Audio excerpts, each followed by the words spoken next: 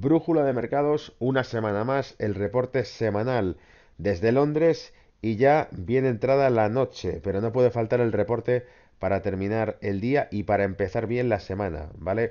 Ah, tengo la voz un poco tomada, eh, me acatarro durante el fin de semana, pero sin duda me mereció la pena porque he podido estar en Madrid en la conferencia que organizamos sobre Hacia un nuevo Crash 2019-2020 ah, y que pude estar con José Luis Cárpatos y con José Luis Cava, a quienes considero, como ya he dicho en más de una ocasión, los mejores maestros que podemos encontrar eh, de habla hispana en mercados financieros. Em, bien, ¿qué traigo para esta semana? En portada eh, ese puzzle global donde puedo encasillar a Estados Unidos de fondo, la Casa Blanca, el Capitolio, eh, China, Irán, Rusia, las piezas del puzzle y sobre todo lo que voy a daros como agenda o como hoja de ruta de este vídeo reporte, ¿vale? Te recuerdo que si es la primera vez que acudes a este vídeo, te invito a que te suscribas. Somos más de 3.900 miembros ahora mismo ya en el canal Brújula de Mercados. 3.900 eh, inscritos ya en esta familia que crece con mucha ilusión. Y bueno, las claves del mercado. La banca italiana arrastra a su nuevo gobierno. Punto número 2, el top 10 de los países con más deuda del mundo. Adivináis qué? Grecia está en esa lista, pero también Estados Unidos. Ah, tercero, la Fed cierra posiciones en el sector inmobiliario. Vamos a hablar de exactamente qué activos está el Banco Central de Estados Unidos, el mayor cártel del mundo, la Reserva Federal, se está quitando de en medio, ¿vale? a por la tasa de interés neutral, un debate interno dentro de la Reserva Federal. Presidentes de la Reserva Federal de diferentes estados dan opiniones distintas sobre qué sería esa tasa neutral. La tasa de interés neutral es aquella que ni genera dificultades de crecimiento ni tampoco ni tampoco deja rienda suelta a la inflación, ¿vale? Ni por arriba ni por abajo dificulta la economía. Por eso se considera como la tasa de interés de equilibrio, ¿vale? Pero vamos a ver cómo no está definido muy bien entre ellos cuál es esa tasa de interés y por lo tanto de que hay debate para rato dentro de la Reserva Federal. Y como ya he dicho más de una ocasión, las decisiones que toma la Reserva Federal en política de tipos de interés, en política monetaria, afectan al mundo entero, porque es el organismo más importante de la economía mundial. Punto número 5, curva de tipos y ecos de recesión.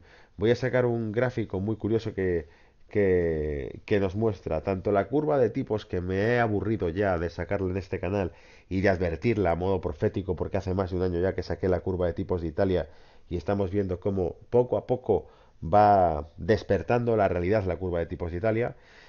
6. Ah, inflación y empleo en Estados Unidos.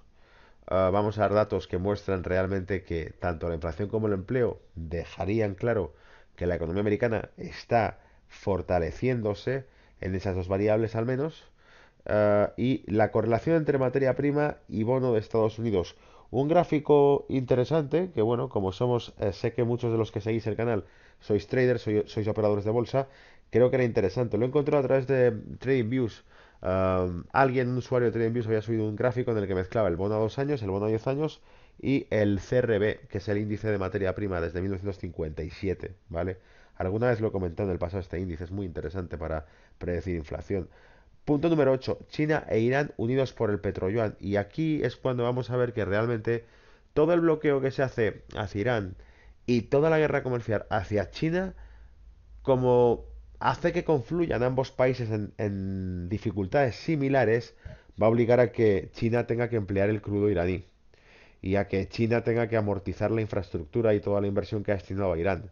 Si Irán no puede vender crudo al resto del mundo, China inexorablemente va a tener que absorber toda la producción de Irán de, toda la producción de crudo de Irán, ¿vale?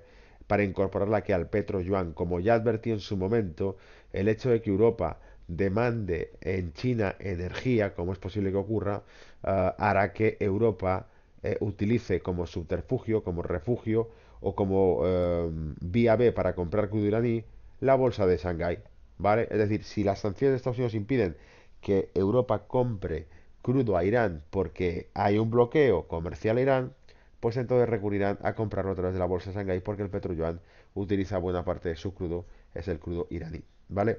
Punto número 9, cómo China resuelve su crisis. Aquí voy a desvelar varios datos bancarios que muestran cómo el Banco Popular de China se está adaptando. En realidad son dos datos, ¿vale? Eh, lo que pasa es que luego mostraré los gráficos de ambos datos. Pero uno va a ser el coeficiente de caja que establece el Banco Popular de China al crédito interbancario dentro de China y el otro va a ser el ajuste que está teniendo el yuan contra el dólar eh, en los mercados para poder eh, sortear el impuesto arancelario a productos chinos en Estados Unidos. Como sabe que el mayor consumidor de productos chinos en Estados Unidos y como sabe que el arancel le lastra eh, la producción, le lastra la demanda de producto chino, lo que hace es rebajar el yuan todo lo necesario para que ese arancel no surta efecto, ¿vale? Vamos con el, con el material, que además es material denso el que traigo hoy y creo que interesante. La banca italiana, el talón de Aquiles del nuevo gobierno. Y cito parte del artículo sacado por Wall Street, que dice, el temido Tumlop, el círculo vicioso entre los gobiernos sobreendeudados de la zona euro y los bancos débiles que los financiaron, al que se suponía que debía terminar el programa QE del BCE, está en plena marcha no solo las sanciones de los bancos las que están siendo eh, sintiendo el impacto, también lo es la capacidad de los bancos para recaudar fondos. Es decir, nos está diciendo el artículo de Wall Street que los bancos italianos están descapitalizando, ¿vale? Dice, a pesar del NIRP del BCE, os recuerdo os lo he puesto en rojo abajo, ¿qué significa el NIRP? Es la Negative Interest Rate Policy que impulsó el BCE para incentivar a que los bancos moviesen sus fondos de los depósitos a la calle. Esta es la explicación que he dado yo, ¿vale? Podéis buscar una explicación más detallada. Prestando nuevo crédito a negocios individuos. Es decir, la política de tasa de interés negativa que establecía el BCE dentro de los depósitos de los bancos privados dentro del BCE. Cobraba por dejar eh, a los bancos depositados su dinero, por lo tanto, obligaba o incentivaba a los bancos europeos a que sacasen el dinero fuera del BCE y lo utilizasen en crédito, ¿vale?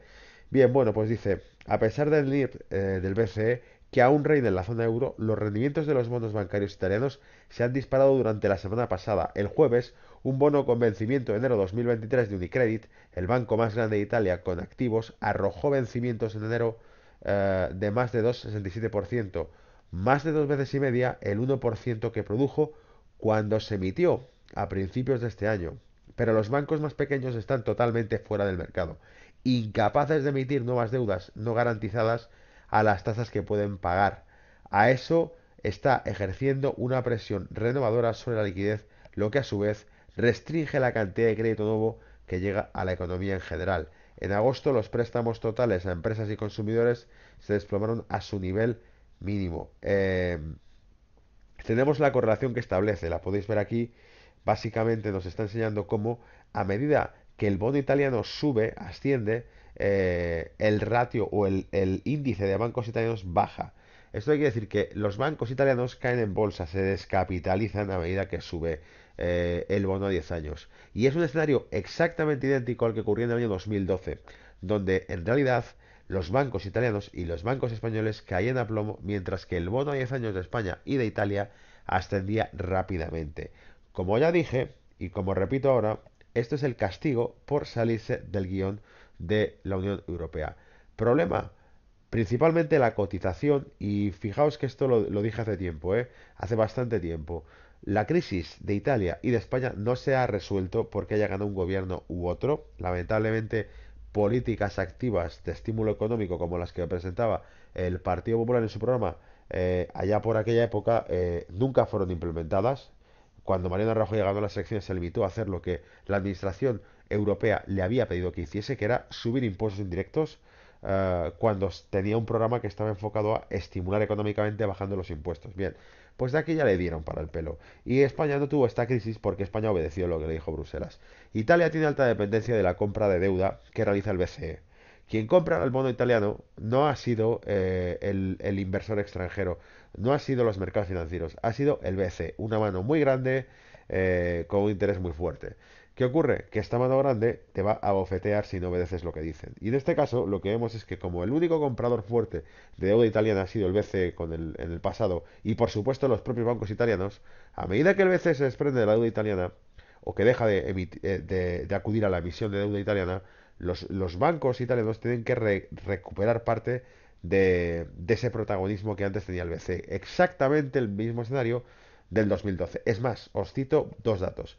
El déficit presupuestario del 2.4 triplica el presupuesto del gobierno anterior, triplica el presupuesto presupuestario del, gobierno anterior, ¿vale? Nunca mejor dicho, la redundancia.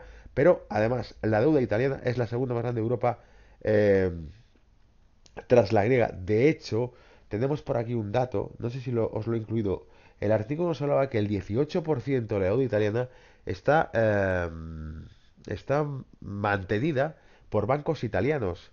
Por eso Alemania pedía que en las reformas bancarias que estableciese los tres estrés de Europa se tuviese en cuenta como argumento negativo, como, como por decirlo así, como una cuestión eh, de peso, la cantidad de deuda pública que sostuviesen los bancos eh, europeos dentro de sus balances, que fuese una condición que disminuyese el rating crediticio de esos bancos. ¿Por qué?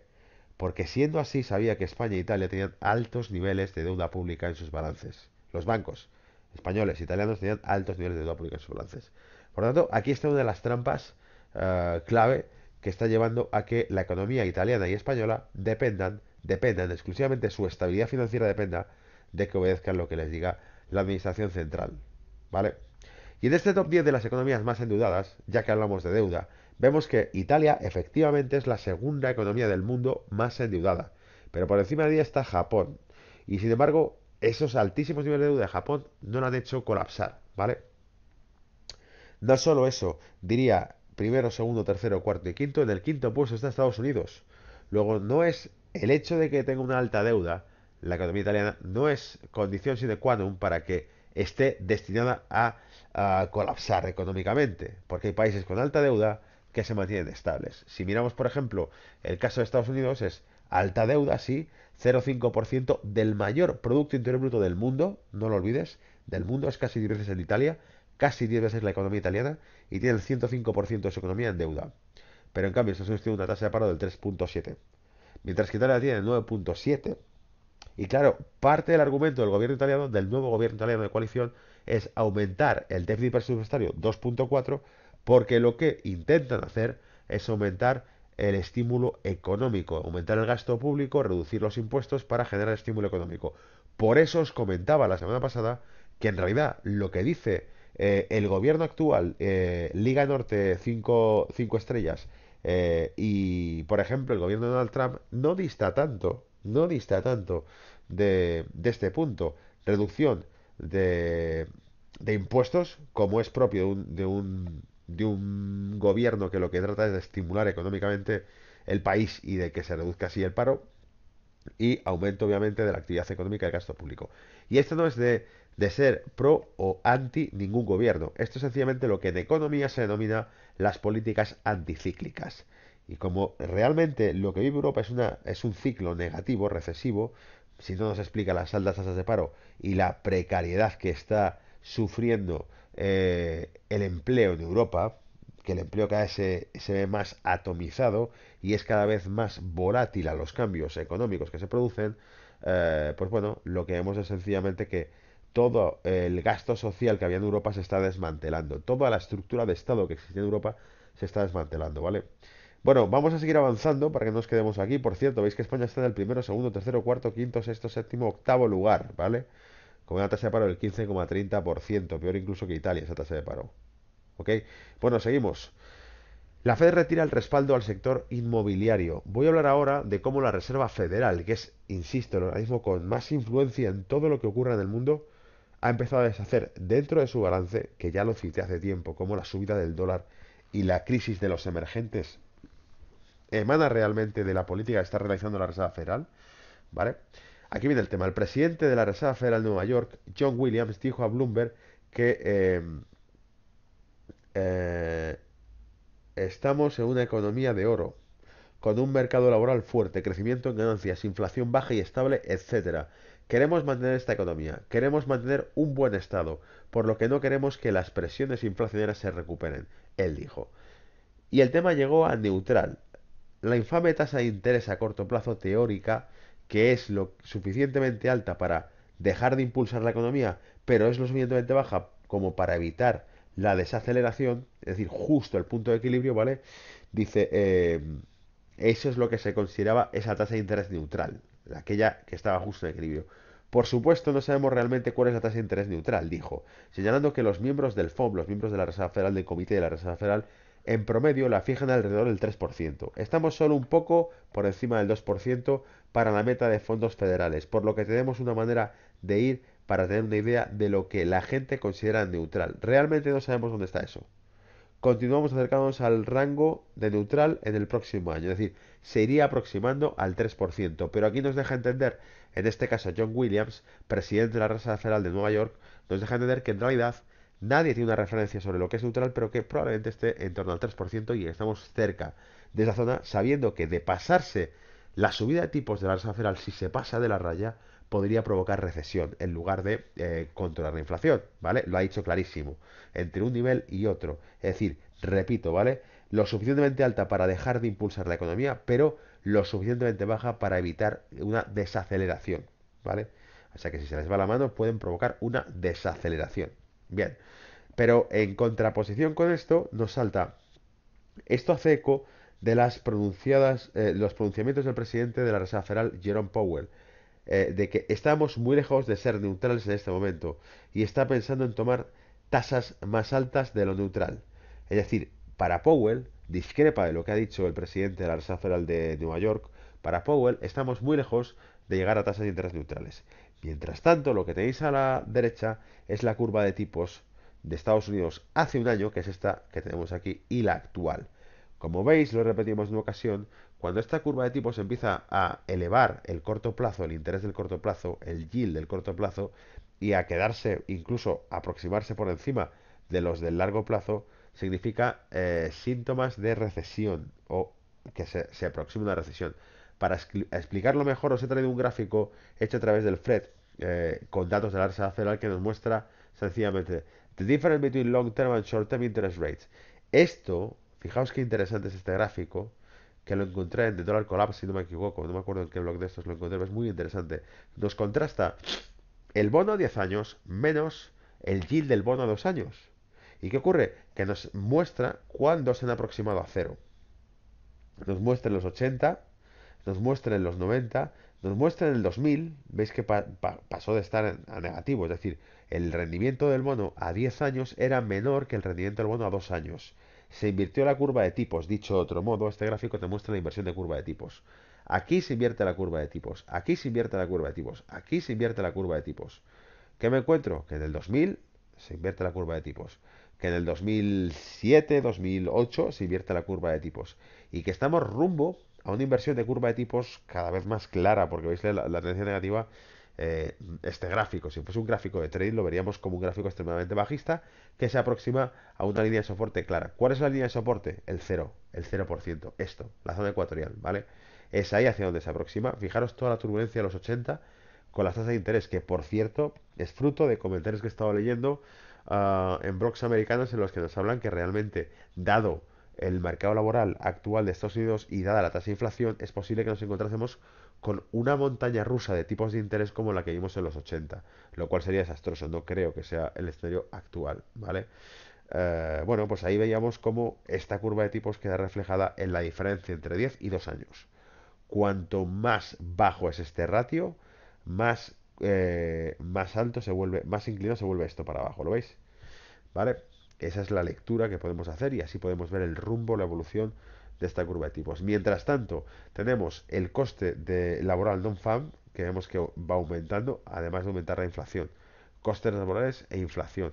Los costes laborales, os recuerdo, se añaden al proceso productivo, es decir, cuanto más cuesta producir, más sube la tasa de precios, ¿vale? Esto es una lectura que os estoy haciendo eh, y que viene a ser la justificación principal por la cual dicen que la guerra comercial perjudicará a Estados Unidos porque la guerra comercial acabará afectando al consumidor americano.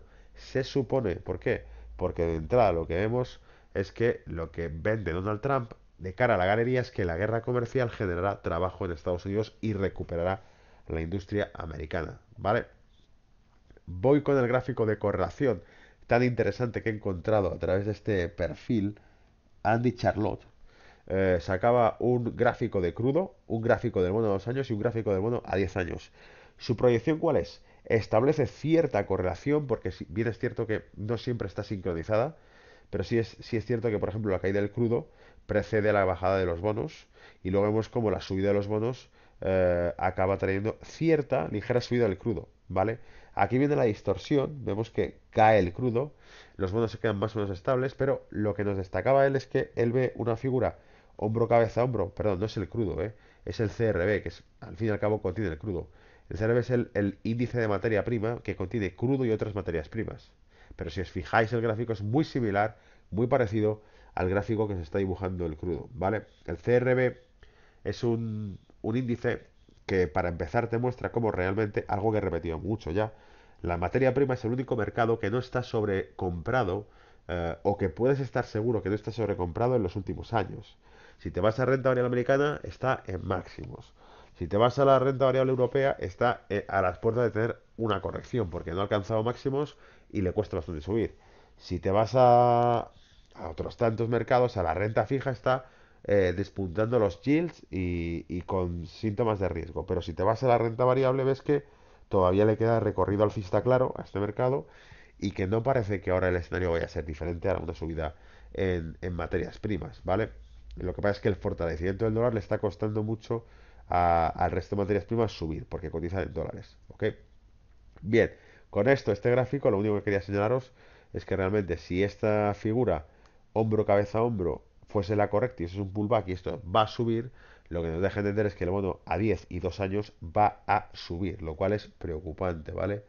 Lo tenéis ahí en rojo 2 años y en azul 10 eh, años. Y esto viene vinculado con el gráfico que os mostraba antes, donde podíamos ver el diferencia entre 2 y 10 años, como al acercarse a cero significa que son preludios de recesiones en Estados Unidos, ¿vale? Bien, quiero saltar además al petróleo para que veamos cómo se relaciona el tema de Irán y el tema de China. En realidad van a ser la misma película, os lo digo. Van a ser la misma película. A ver, a la derecha tenéis un gráfico donde se muestra quiénes son los principales compradores de crudo iraní. Con diferencia, con mucha diferencia, China es el mayor comprador de crudo de, Irán. ¿Vale? Después le sigue China, Corea del Sur, Turquía. Ojo, Turquía. No he puesto nada referente a esto pero Erdogan ha rechazado, ha dicho que el, capítulo del FMI queda cerrado. Rechaza por completo la ayuda financiera del FMI. Turquía, amigos, recordad esto, Turquía se está revelando por completo a todo el paradigma del orden económico e internacional que existía hasta ahora. Turquía era miembro de la OTAN. Turquía aspiraba a entrar en la Unión Europea hace años. Eh, Turquía había sido un obediente eh, y buen estudiante, un país que había cumplido con las reglas del bloque europeo y americano. Ahora Turquía se revela contra todo. Ahora Turquía critica al, socio americano eh, en Siria, en la guerra siria. Ahora Turquía toma acciones militares eh, unilateralmente sin depender de la OTAN. Ahora Turquía compra armamento militar ruso pese a las advertencias de Estados Unidos. Ahora Turquía rechaza la ayuda financiera del FMI, que es el organismo de ayuda financiera occidental, ¿vale? Luego Turquía se sale de ese guion.